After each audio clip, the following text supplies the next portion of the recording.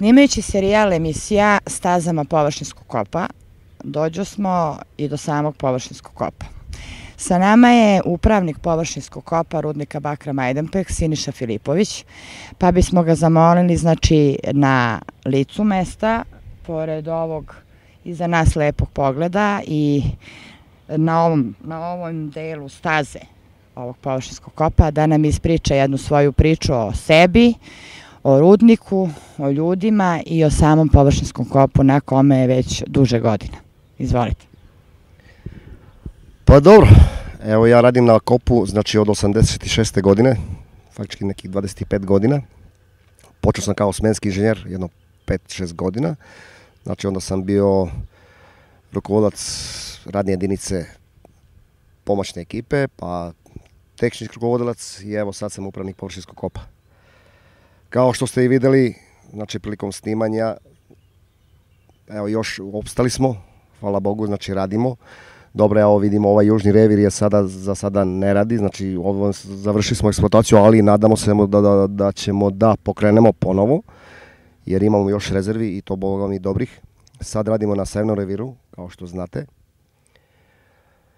Pa znate i sami, prošli smo kroz dosta perioda i dobrih, a boga mi bilo je, bilo je perioda, znači znate sami period sankcija, kada smo jedva izborili da, da opstanemo i evo tu smo danas, da kažemo da smo prevazišli svu tu situaciju, nadamo se u dalji razvoj i da ovaj, znači, jer e, ovaj rudnik ima sve predispozicije da i dalje radi i da normalno povećamo proizvodnju. Pa kažemo, u Majampeku sam evo, od 86. godine. I ujedno na kopu. Ajmo sad da čujemo recimo kad ste krenuli kako je bilo. Kako je bilo raditi i kako je bilo, znači raditi u rudniku i raditi sa ljudima i kako je sad? Pa raditi je isto u suštini. E, s tim što kad sam se ja zaposlio, znači rudnik je tad e, na kopu se, da kažem, vrtilo oko 25-30 kamiona, desetak bagera, Rudnik je tada imao oko 4000 i oko 4500 radnika. Znači, radilo se punom parom. Kao što sam malo pre rekao, znači, pa nastoje posle period e, sankcija, blokada, tako da smo, boga mi, došli dosta, dosta nisko smo popali. Evo sad smo se znači povratili sa nekim brojem kamiona, nadamo se da će to da bude ne samo sa kamionima, nego i sa drugom mehanizacijom to je krenulo i nadamo se da će da, da, da stane na svoje noge, jedno da se ponovo vratimo neki nivo tamo neki kad smo radili, znači 80. godina, znači jedan puni, puni kapacitet proizvodnje. Šta biste nam rekli recimo o radnicima? Bilo je, bio je jedan period kada su mnogi napustili iz više razloga. Ovi koji su ostali, e, pričali smo i s njima, rekli su da su izdržali i jesu izdržali kakav je sad, da li postoji taj neki veći elan, da li postoji veća volja za tim nekim radom? A, pa ovako, e, dobar deo radnika, znači starih radnika je što je, što kažete, nešto je otišlo, nešto je otišlo u penziju, imamo dobar, e, da kažemo, prosek, ostali su relativno mladi ljudi, da kažemo relativno mladi, znači koji nisu pred penzijom, imaju volju da rade, zadovoljno su, znači vraćamo se u neki sistem i sa primanjima i sa svime time, mislim da idemo dobrim putem. Znači, ljudi imaju volju, rade isto kao nekada. Kažem, moramo malo da, da se upotpunimo sa mehanizacijom. Normalno, jer dosta je toga zapušteno, zastarelo, tako da ali mogu da kažem da sam s ljudima zadovoljan. Znači, ima jedan dobar deo mladih ljudi je primljeno. Tokom godina došli do zamene i ovi ljudi imaju volju da rade. E, možete li sad, evo, ima puno ljudi koji znaju da je rudnik tu, znaju da radi, čuje miniranje i tako dalje, ali da nam opišete jedan, recimo jedan vaš radni dan na kopu, znači ne samo vaš uopšte, šta se dešava recimo od tih nekih šest ujutru, sedam, pa recimo do kraja prve smene, kad je ovako, ima posla. Pa noma, noma je to, u stvari ovde na kopu nikad nije svaki dan isti.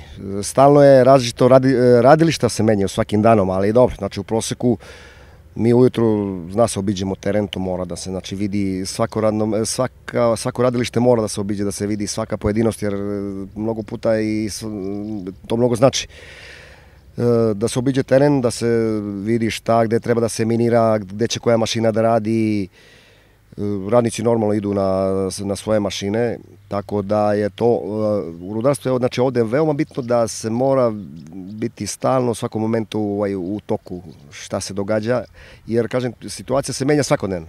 Vidite i sami, znači radilište se menja, teren, vremenski uslovi, to da ona ne pominje, mislim, zima, kiše, sneg, led tako da je to strašno ponekad, ali radimo, navikli smo.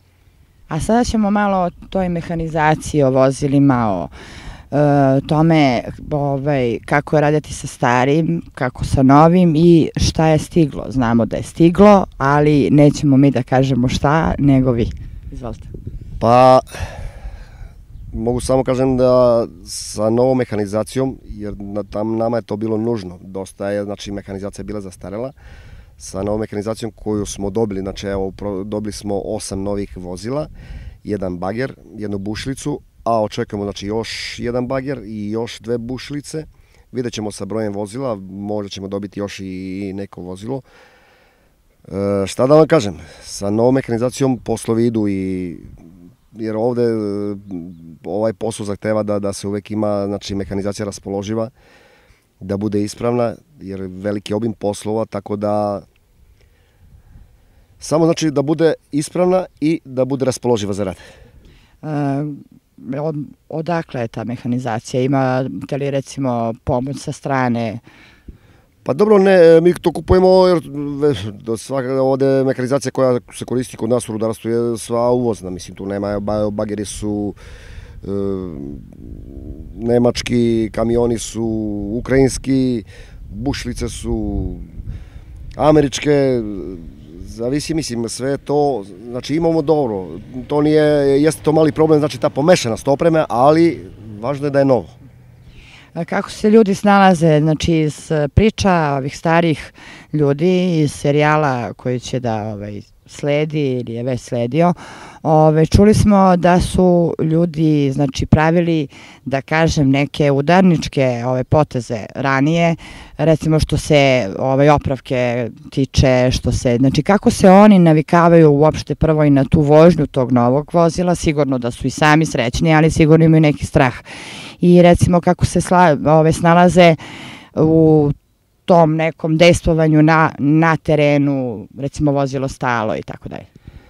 Pa dobro, evo mogu da odmah da vam kažem, e, vrlo sam ovaj, zadovoljan sa, prvo sa montažom, recimo ljudi sa montaže koji su vozila izmontirali u strašno relativno kratkom vremenu i ljudi sa održavanja su se vrlo brzo privikli, a naši ljudi koji rade, znači vozači, bageristi, da kažem da sam zadovoljan s njima, to su većinom sada mla, mla, mlađi ljudi koji su, ne većinom, koji svi su, imaju srednju školu, znači treći, četvrti stepen, tako da su veoma, veoma ovaj, spremni i zadovoljan sam, hvala Bogu, do sad nemao nekih ekscesa, nekih eh, havarija, velikih, eh, dobro, normalno nekih kvarova se, deš, neki kvarovi se dešavaju, ali nemamo nekih velikih havarija, što i ne bi trebalo da bude. Mislim, ovo su sve mlađi ljudi ja moram da priznam, ranije je bilo starih ljudi koji nisu ni bili toliko školovani. Bilo je priučenih i za sada je to vrlo dobro funkcioniše.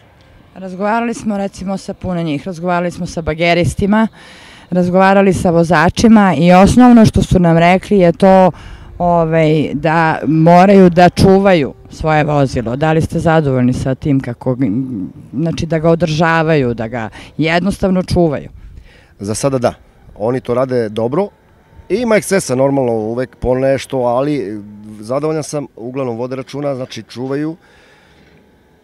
Nismo imali, evo kad kažem, još jednom moram da ponovim, znači nekih velikih avarija i dobro je da nema jer ovo je opasan posao, znači ovde su uvek neke ekscesne situacije, klizavi putevi, klizišta, usponi i tako dalje, ali kažem, evo za sada ovi momci dobro rade, nadam se će tako da, da i da nastave. Ja bih pozdravio sve naše penzionere i da još dugo ovako požive i da uživaju u, ja se nadam i kažem ne samo što se tiče rudnika, nego i grada Majdanpeka. E, nadam se da jednu perspektivu, znači za jednu budućnost da ovaj rudnik znači, i dalje nastavi da radi i normalno u većem obimu. E, normalno znamo šta znači za grad kao grad. E, I ovom prilikom znači ja bih pozdravio i sve svoje radnike, na, na, ne samo na kopu, nego znači u celom rudniku, flotaciji, drobljenju, održavanju. Da im poželim puno sreće i uspeha u daljem radu. Pa, I još najmanje 100 godina. Nadamo se. Hvala vam najlepše. Ovo je bio Siniša Filipović na jednom delu staze površinskog kopa serijala Radio Televizija Majdanpek. Hvala.